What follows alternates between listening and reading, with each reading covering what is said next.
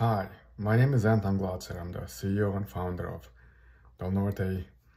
We are a company that is revolutionizing the way people store and secure their property data, as well as uh, do real estate transactions.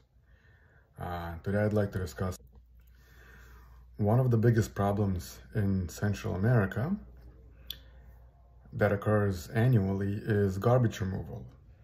Now, there is obviously sanitation services in all of the countries in Central and South America, Africa, and whatnot. However, oftentimes what happens uh, seasonally, people will accumulate garbage and they simply will just burn it in their backyards, uh, which occasionally causes massive fires, which get out of hand. And because most of the population does not have property insurance, uh, those fires can be quite devastating to the local community.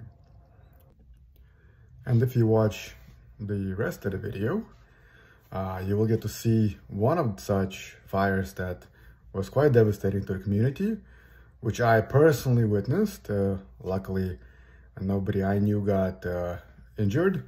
But yeah, it was pretty bad. And uh, it covered quite a lot of, uh, you know, quite a large area. And I'm very sure it destroyed a number of houses, which those people, um, I don't really know what happened afterwards, but uh, I think the government provided them with some kind of shelter. But yeah, they, I would, I would guess none of these people had insurance.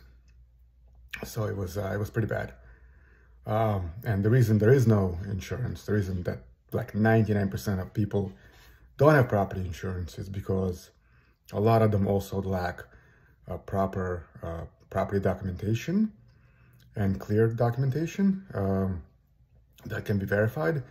And so most insurance companies uh, either refuse to insure these properties or make it cost prohibitive for the majority of the population, which is one of the problems that we are trying to address. Clarify documents, make them transparent and secure, uh, which will bring down all the costs.